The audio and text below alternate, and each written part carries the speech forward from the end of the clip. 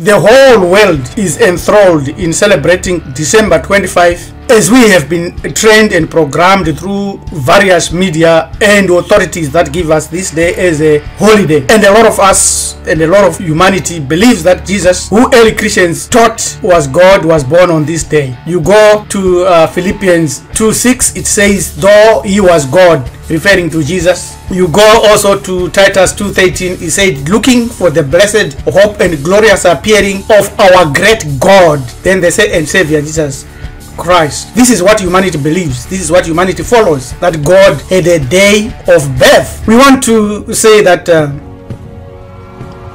the winter solstice, a theory found in the history of religions, hypothesizes that the church chose December 25 as Jesus' birthday, Dies Natalis Christi, to appropriate the Roman winter solstice festivals, Dies Natalis Solis Invicti, birthday of the unconquerable sun, or unconquered sun, which was a pagan festival. And Dies Natalis Solis is a happy Sol Invictus, which is Merry Christmas to billions today across the ages.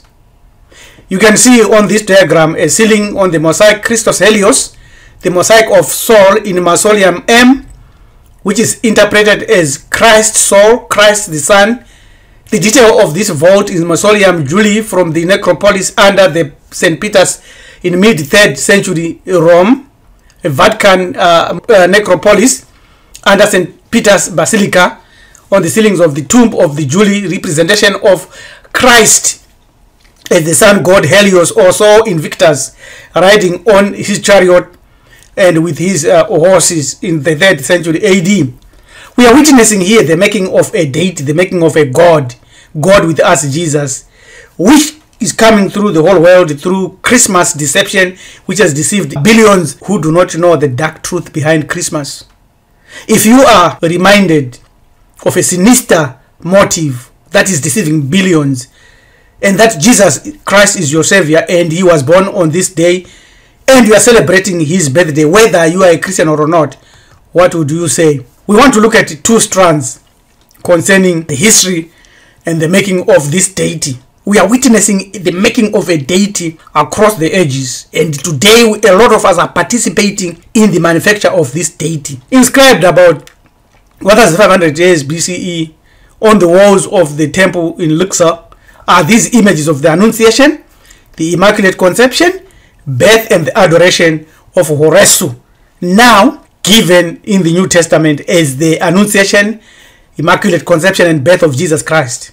This was all announced by Jirahute, who announced to the Virgin Isisu that she will conceive Horesu with the help of the Holy Ghost, which is the Ankh, which was impregnating a virgin. And the infant was born attended by the three kings or the magi bearing gifts. The three kings and the magi are the stars in the uh, belt of orion the church of rome changed the date of the birth of jesus to 25th of december for a purpose and for a goal. The ethiopian church and the orthodox Tewahedo church celebrates christmas on january 7th so one sees uh, that much of what is called christianity today the gospel, the message, the preaching, the death, the resurrection, the birth, the virgin birth came from ancient African astronomical as well as cosmological allegories and mythological allegories. The birthday of Jesus was originally celebrated on the 6th of January, as we have already alluded to, but today we are told it is on the 25th of December.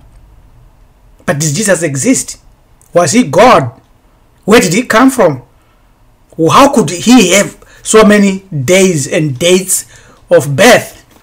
Another strand that is known by a lot of millions is that when we say Merry Christmas and uh, announce it as the day of the birth of a deity, we should never forget that there has never been a man that ever walked the earth in human form of any race, creed, or color by the name of Jesus Christ, also known as Serapis. You can read this, the historical origin of Christianity by Dr. Walter Williams, to find how Jesus never existed but was created by humans, inspired by a sinister force to do so. Let's look at the history of how Jesus came about.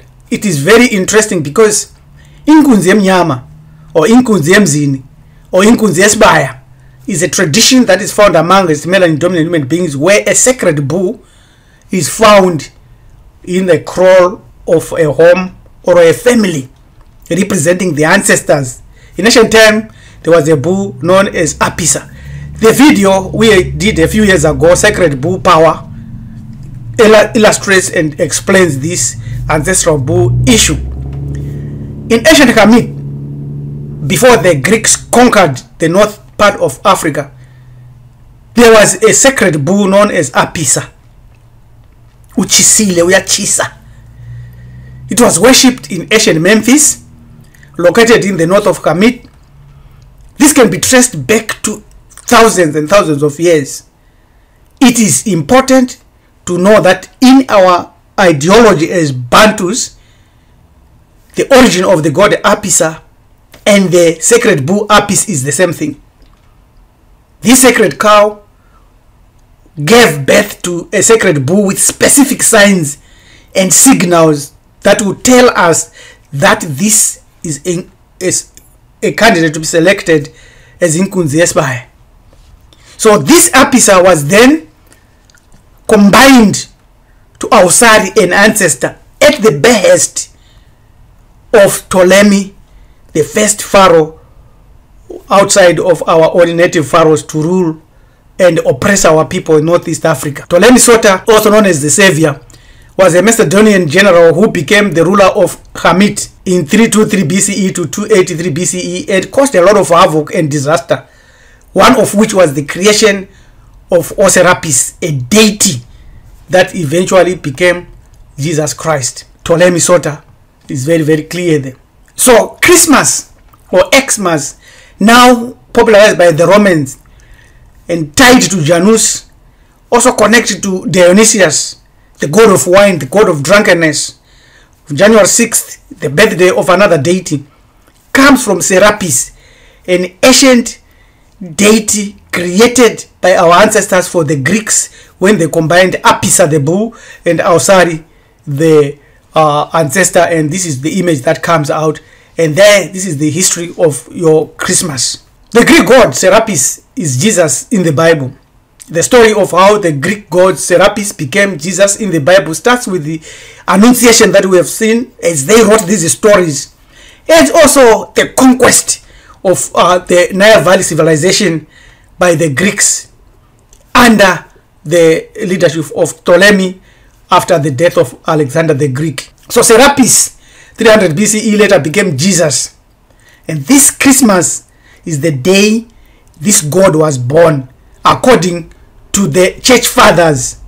In AD 320 Pope Julius I this is disputed by others, but it's a fact that he proclaimed December 25, the official celebration date for the birthday of Jesus Christ, although other church fathers had different dates and reasons. But all what we need to know is that Serapis is the source and foundation of modern Jesus Christ, although Jesus never existed at all. Years later, after a long time and after the conquest by the Romans, the cousins of the Greeks, they sat down in various councils, and one of the most important council was the Nicene Council, which was the first one held in 325 AD, May between May and August, in a place known as Nicaea, Turkey, where the council did address a number of issues.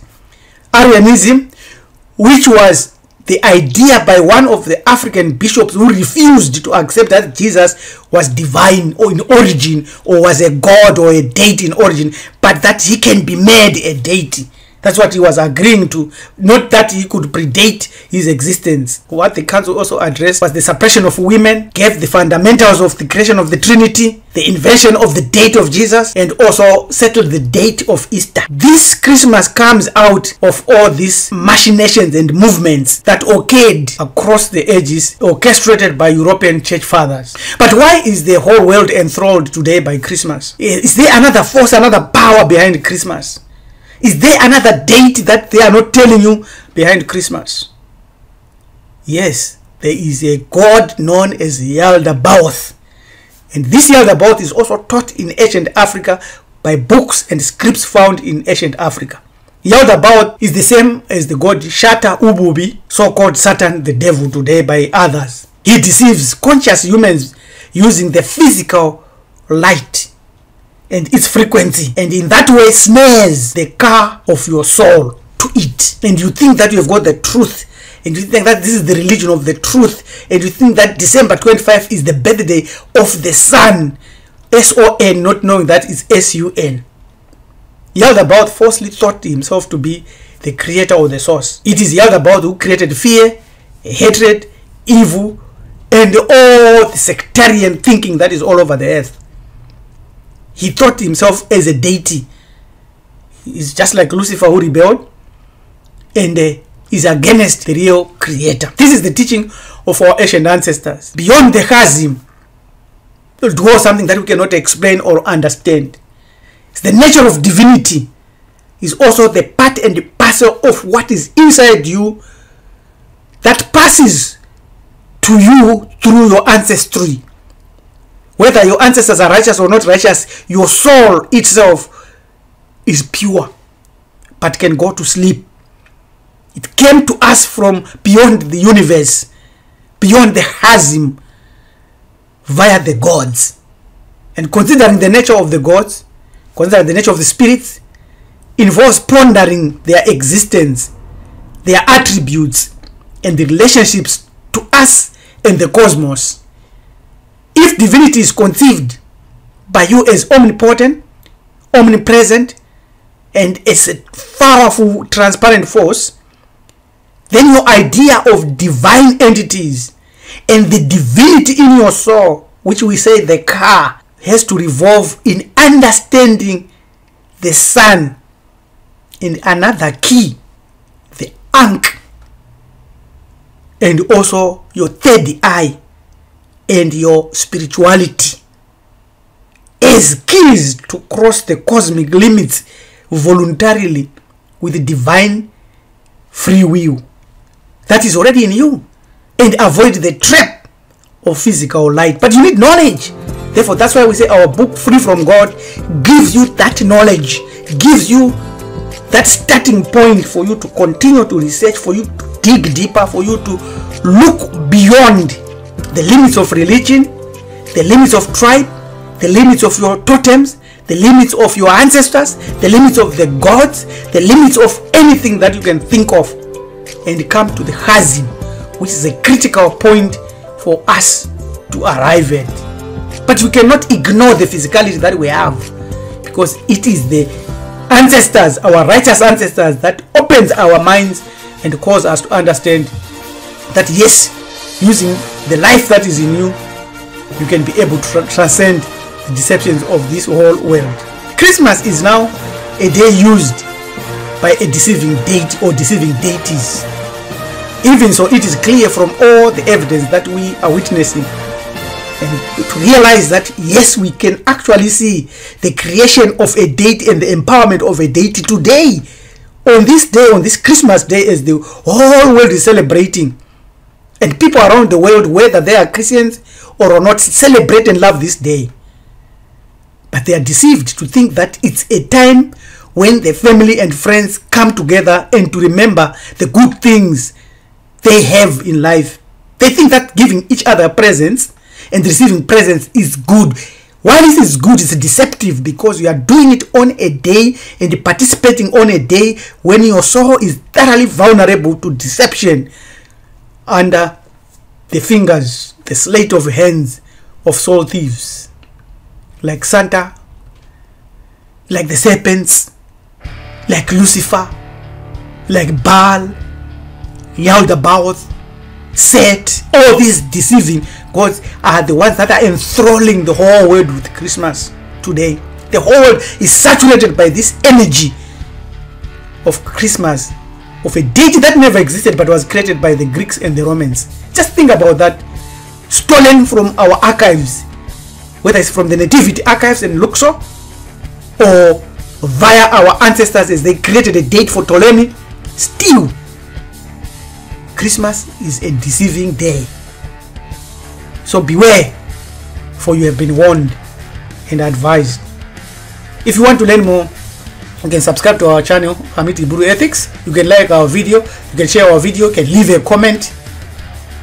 And you can also send us an email on johnatmarifado.com so that we can discuss and share a lot of information. Marifado Family Network is international and works with everyone who is awakened in their soul. Melanin dominant human beings are at the front with Marifado thank you your manager to priest rabbi lm tumizu kunkani njaganja. Says have a great awakening and avoid deceptions. Amen